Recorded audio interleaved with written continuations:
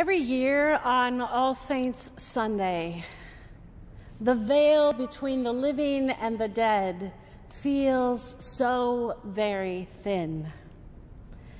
Every year on All Saints Sunday, we pause in the busy chaos of our lives and we savor the names of those who have blessed us and taught us and loved us and fought with us and given us life. And every year on All Saints Sunday, I remember to myself, perhaps you do as well, but I remember to myself, even as I put on my robe and my stole and I prepare for worship, that someday, maybe next year, who knows, but someday, my name will be read at an All Saints' Day worship service. Because we know that someday comes for us all. So every All Saints Sunday, I hold to my heart the question that poet Mary Oliver asks. She asks this Tell me, what is it that you plan to do with your one wild and precious life?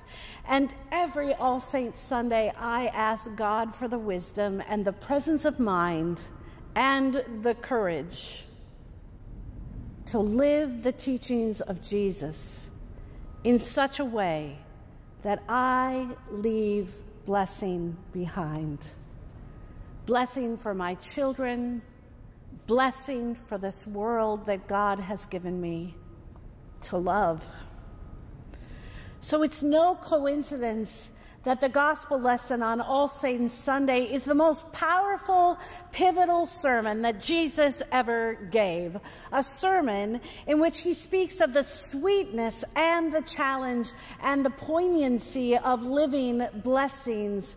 The Sermon on the Mount is a manifesto for discipleship, and the Sermon on the Mount speaks of blessings. Here is what Irish theologian John O'Donohue has to say about blessings. A blessing evokes a sense of warmth, warmth and protection. A blessing suggests that no life is alone or unreachable. Each life is clothed in raiment of spirit that secretly links it to everything else through suffering, though suffering and chaos may befall us, they can never quench that inner light of providence. So, on this All Saints Sunday, we are invited to lean into the power and the challenge of blessing. Though suffering and chaos befall us each, the light of God's providence is never extinguished. So, in sharing the Beatitudes, Jesus shares a vision for how it is we are connected one with the other. And he shares a vision for what it is for us to actually live our love for God and our neighbor. The first blessings of the nine have to do with the grounding of our characters in honorable ways. Blessings like humility and meekness and the willingness to feel our own pain and the pain of the world. Blessings like a purity of heart, an intentional ordering of our hearts in order that we might apprehend and live the good. And the rest of the blessings deal with how we live and pay attention to the ways that blessings are meant not to be hoarded, but to be shared by all people in God's world. Jesus speaks in the Beatitudes of living acts of mercy and of peace and of justice.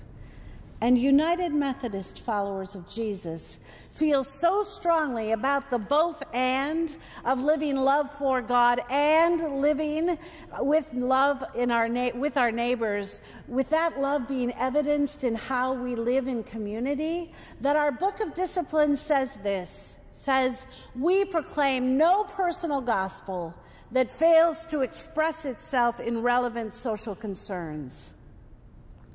And we proclaim no social gospel that does not include the personal transformation of sinners. It's the both and.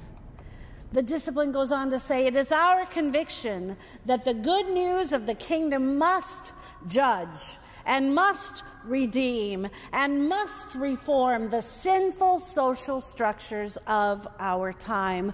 So, as you hear this stunning sermon preached by our brother Jesus long ago, please allow yourselves to be invited to consider how his words and the heart of Jesus and the challenge of Jesus are meant to light our souls as we live in this world that we so powerfully love. And also, I invite you to hear these words as comfort and vision as they might be shared at a funeral service. Because many of the names we say on this day are people who died after the pandemic hit. And so their families were not able to gather for worship and storytelling and hugs and bunny cake and the outpouring of grief and gratitude that funerals provide. We have been without that coming together, that being able to mark immense changes in life and immense gratitude for blessing. So hear these words as though they were being shared at a funeral service because we haven't been able to fully name the blessing of those who have died in the previous year. So we share this word from the Gospel of Matthew with a sense of poignant loss and a sense of celebration, both. When Jesus saw the crowds, he went up the mountain. And after he sat down, his disciples came to him. And then Jesus began to speak, and he taught them, saying, Blessed are the poor in spirit, for theirs is the kingdom of heaven. Blessed are those who mourn, for they will be comforted. Blessed are the meek, for they shall inherit the earth. Blessed are those who hunger and thirst for righteousness, for they will be filled. Blessed are the merciful, for they will receive mercy. Blessed are the pure in heart, for they will see God. Blessed are the peacemakers, for they will be called the children of God. Blessed are those who are persecuted for righteousness' sake, for theirs is the kingdom of heaven. And blessed are you when people revile you and persecute you and utter all kinds of evil against you falsely on my account. Rejoice and be glad, for your reward is great in heaven. For in the same way, they persecuted the prophets who were before you. May God add a blessing to the reading of that word.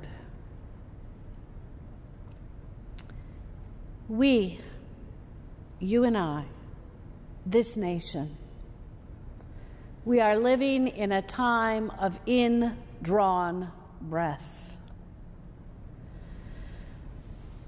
This election on Tuesday has revealed so much in this nation of ours that is not blessing.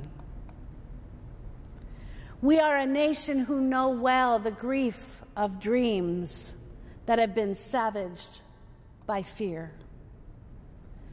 And fear makes us feel alone and unreachable, and that is not God's vision for this world. Here's the thing on this day, we light candles and we speak the names of those who live in our hearts who are no longer touchable. On this day, we hold to our attention the ways that we each want to truly and fully and courageously and intentionally live our wild and precious lives. On this day, we wrap our hearts in the teachings of our beloved Jesus Christ. We so long to be a people of blessing. We want to know and we want to live in such a way that we proclaim that not a one of us is distinct from the other.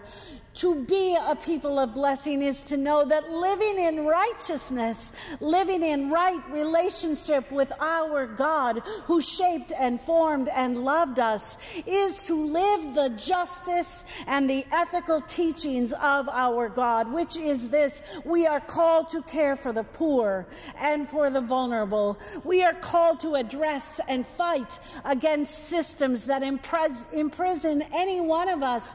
We are called to preach the good news of Jesus Christ with all of our lives. So as you vote, and as you live into the anxiety of this time and into the anxiety of not exactly knowing the results of this election for longer than we would like, here is what I ask.